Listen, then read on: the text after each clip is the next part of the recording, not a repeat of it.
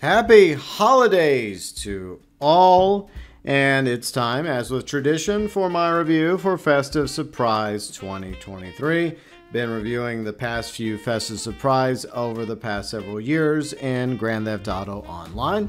And I'm always interested in your pros, cons, and verdict regarding the latest installment of Festive Surprise in Grand Theft Auto Online below in the comment section. Technically, this is not being called Festive Surprise 2023, but since Rockstar's used that name for this holiday event for so many years now, we're just going to call it Festive Surprise 2023. Starting off with the pros, returning content from previous Festive Surprises, including the free quote unquote limited time festive clothing and masks that we get to wear for the next few weeks until Rockstar takes them away once again. The firework rocket launcher has returned for limited time. The snow, which is you know sometimes a, a, pro and a con to people depending on your point of view regarding the snow. It's nice to have, but yes, I feel like it sometimes overstays its welcome. But the snowball fights are always fun with friends and randos until one of them gets a little too salty and decides to pull out rockets and guns. Speaking of snowball fights, Rockstar has added death matches for snowball fighting in GTA Online. Not many, but there's a few of them. They were kind of fun to do, but the, the HP for them snowballs is lethal on the first hit. I don't think they should be like lethal on the first hit. I think maybe like the second or third hit, but like the snowballs are very OP in uh, the death matches What's not OP, and we'll talk about this more in a minute, is the Snowball Launcher. It's quote unquote free, and you can get it between December 21st and 27th for the Snowball Launcher. The Snowman collectibles are also back, which features the Snowman outfit. So I think there's 25 snowmen scattered throughout the map, just like last year. You destroy all 25 snowmen, and then you unlock the Snowman outfit.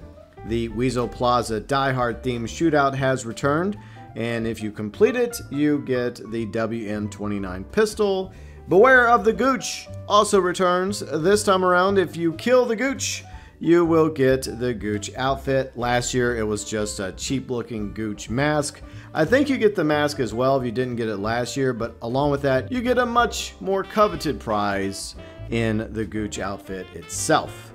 Holiday gifts that have been included with this festive surprise include the green Christmas tree hat along with the white Christmas reindeer hat, the candy cane melee weapon for anyone that didn't get it last year. You can get those holiday gifts between December 21st and 27th. And then there's going to be some New Year's gifts available for players who log in between December 28th and January 3rd, including New Year's hats as well as New Year's glasses. The Yeti Hunt is available for all players in GTA Online, and that's going on between now and January 3rd. You do the five clues, and you wait till nighttime to successfully fight and kill the Yeti, and you will unlock the Yeti outfit.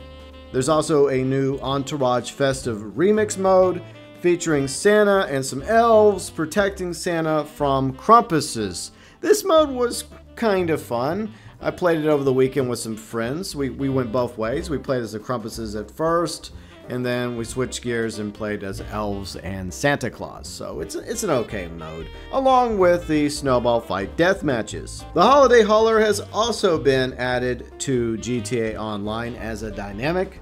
It's a big rig with a trailer on it, has some holiday theme to it and it'll drop cash, ammo, snacks, and on rare occasions, the Holiday Hauler will also drop two rare sweaters, the E. Cola as well as the Sprunk Happy Holiday sweaters. Speaking of the Holiday Hauler, let's uh, start off with that as the con. Yeah, it's awesome that we have the Holiday Hauler in the game, and it does take its sweet time to go around the map, which gives you plenty of time to get behind it and collect the gifts and hopefully get one or eventually both of these rare holiday sweaters but there are some problems with the Holiday Hauler. For one thing, you have to have at least two people in your lobby, and it takes about 60 minutes for the Holiday Hauler to spawn. And some of the gifts will glitch. They'll spawn in midair and you can't even get them with a broomstick or climbing on top of a vehicle. And another issue that a lot of players are complaining about is they have yet to acquire even one of these two holiday sweaters, the eCola or the Sprunk Holiday Hauler sweater. Which is very unfortunate, especially for people that like to collect the rare clothing items. The, the two sweaters do look really cool. They light up at night and I wish that it didn't take 60 minutes for the holiday haulers to spawn. I also don't think that the dynamics should require two people in a lobby. I know that's not a big deal because most people have at least one friend in GT Online that they can call upon to hang out in a lobby before one of the dynamics, you know, pop up for them. And the holiday hauler, I think that could be reduced to maybe like 30 minutes instead of 60 minutes. And the uh, gift glitch issue definitely should be resolved for the next festive surprise, hopefully. So yeah, the holiday dynamics can sometimes be hit or miss. Players waiting for the gooch will have money out waiting patiently for the Gooch to attack them, but they never get attacked by the Gooch. Players also have been waiting patiently for the Weazel Plaza Die Hard shootout to occur. I have yet to see it pop up in my lobby, but I already have the WM29 pistol from last year's. It's possible that the uh, dynamic won't pop up for players that already have acquired the Gooch outfit or the WM29 pistol, but it is unfortunate that there are definitely reports out there of players who are trying to get these various rewards for these festive surprise dynamics and have yet been able to do so. It would definitely be easier for players if you didn't have to have at least two people in a friend or invite lobby in order to unlock the Holiday Hauler, Gooch, Weazel Plaza, Die Hard Shootout, etc. And then the Snowball Launcher. This is not really a big deal, but I thought I'd include it as a con anyways. It has probably the lowest HP when it comes to a firearm in the game. It doesn't even kill NPCs. No matter how many times you shoot the NPCs, they'll get knocked down.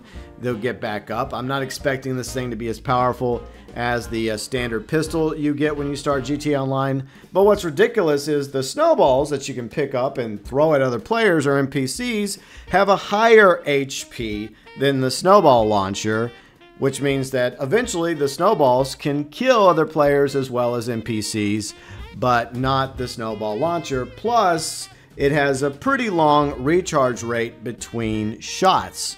The fire rate is very slow on the snowball launcher, and once again, the HP should be boosted up just a little bit. And my final con is one I've mentioned in previous Festive Surprises. I do appreciate that we get to wear these free festive clothing items and masks for a limited time throughout the festive surprise, you know, holiday season. It just sucks that we can't buy them and keep certain festive outfits or masks year long, even if there was a ridiculous price tag to them, similar to the Arena War price tags. I'd be more than happy to, you know, shell out a few bucks in order to keep some of these festive masks or outfits in my inventory year long. But it's nice to see them return for Festive Surprise 2023. There are the pros, cons. Time now for my verdict. Despite dynamic issues, it is nice to see Rockstar continue to add on to the Festive Surprise content that they have been doing for over 10 years now. Bear in mind, it wasn't called Festive Surprise in 2013, but that's when it began with a, a snow day. We only had one snow day back then. And the festive masks, the festive clothing, was uh, featured for a few weeks for players to use for free. And little did we know back in 2013 that that was the beginning of what would become a decade long festive surprise tradition in GTA Online. Happy holidays, everybody, and a happy new year to each and every one of you. Your thoughts, views, and opinions regarding Festive Surprise 2023, welcome as always below in the comments section.